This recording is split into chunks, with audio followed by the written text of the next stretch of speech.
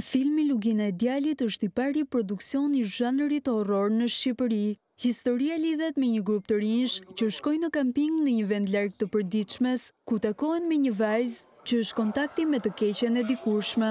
Gjithçka nis në vitet gjashtëdhjetë dhe vjen deri në ditët e sotme. Shumë prej të rinjve sakrifikohen për hir të situatave që krijohen dhe përtej përpjekjeve të liderit të grupit për t'i shpëtuar, vetëm disa prej tyre mbijetojnë. Pjesa e horrorit është komplet blood, domethënë gjak, më vritet e dashura ime në film, një super dramë që gjithë shqiptarët kam bërë të qajnë.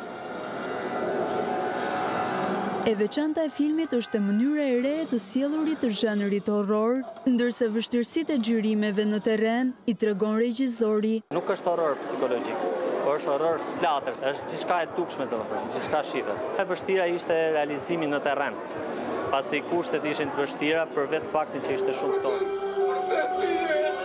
Te personazhi i aktorit Bujar Asqeriu që sprovohet përgjatë filmit, Dominon tipari i përkujdesjes dhe mbrojtjes. Është një nga momentet më emocionale të filmit dhe të personazhit tim, kur shoh vëllain të transformuar në bishë. Tek njeriu janë të dy gjendjet, është dhe engjëlli dhe djalli.